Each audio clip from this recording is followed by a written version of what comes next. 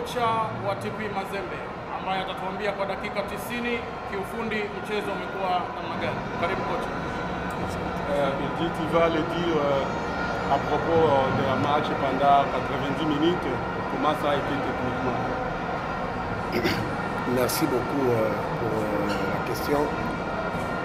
Moi, je crois que nous sommes mal rentrés dans, dans ce match. Parce que quand vous voyez le- les deux parties, la première période et la deuxième période, c'est deux matchs différents. Donc, euh, c'est vrai, nos amis de Yang, ils ont, ils ont profité de notre faiblesse en première période et ils ont marqué des buts. Et ce n'est qu'après, en deuxième période, quand on a eu à faire quelques changements, on est rentré dans le match, on a poussé, on a marqué un but. Et à 2-1, on était en train de pousser, on a raté pas mal d'occasions. Et après, sur euh, une balle de contre-attaque, on prend un troisième but. Uh, kipindi cha kwanza tuliingia vibaya kwenye kwenye mechi kuanzia kipindi cha kwanza. Mechi ilikuwa na vipindi viwili, mechi ilikuwa na vipindi viwili.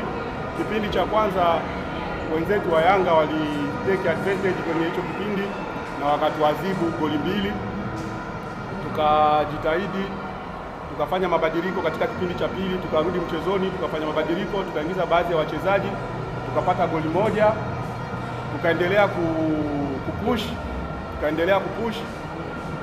Bahati mbaya wakapata counter attack, na hiyo counter attack ndio ambayo imetuadhibu goli la tatu.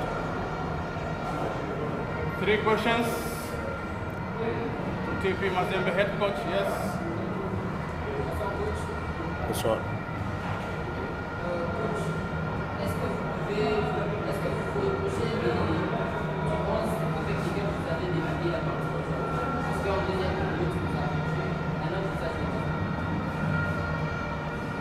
Je crois que tout à fait, je dois me reprocher. Parce que ceux-là qui ont commencé, qui ont débuté le match, n'ont pas été vraiment à la hauteur. C'est vrai, Yanga, et du fait qu'ils ont perdu leur euh, première journée, eh, ils devaient pousser, ils devaient être à fond. Mais bon, nous, on a été un tout petit peu déboussolés. Eh, moi, je crois qu'avec les changements qu'on a eu à faire, eh, ça, a apporté quand même une, une présentation positive du jeu. Et je crois qu'on on a eu une leçon et on va en tirer, on a tiré des conséquences. Et c'est à nous de, de revoir cela et par la suite essayer de réorganiser l'équipe. Kuna, kuna kitu tumejifunza katika first 11 ambayo tulianza nayo, sababu first 11 ambayo tulianza nao haikucheza kabisa kama tulivyotarajia. Ndio maana unakuta kuna sabu ambayo tulio- tulioifanya na hiyo sabu ambayo tulioifanya ndio ambayo imeleta ileta mabadiliko. Sasa wenzetu wa Yanga kutokana na jinsi walivyoingia, sababu mechi ya kwanza walikuwa wamepoteza, mechi ya pili wakaingia na determination.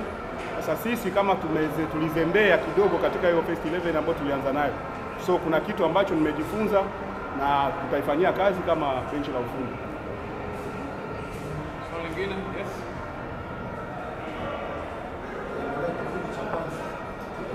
Can you speak louder please?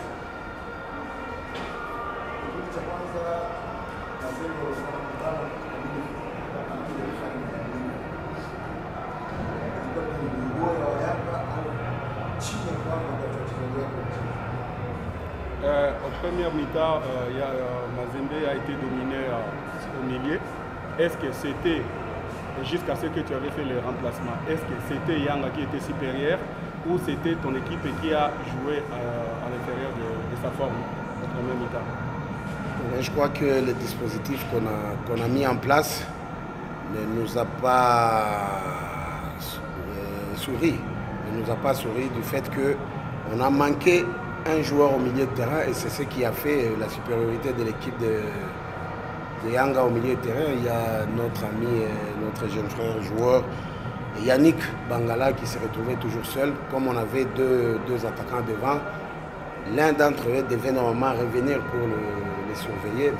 Il restait devant et il s'est retrouvé seul à chaque fois et il a donné du tonus, il a ravitaillé euh, son équipe dans la ligne offensive. Uh, kipindi cha kwanza na mapungufu ambayo yalikuwepo. Tulikosa mtu mmoja hapo katikati, na kwa- kumkosa yule mtu hapo katikati ilifanya Ya- Yannick Bangala anajikuta mwenyewe, sababu sisi tulicheza na, na, na mastrikers wawili. Kila muda mpira ukianguka huwa unamkuta Yannick Bangala na Yannick Bangala anagawa anagawa kwa, kwa wenzie. Hapo ndio kwenye tatizo lililokuwepo kwenye kile kipindi cha kwanza hadi tukakuja kuonekana tuko chini. One last question.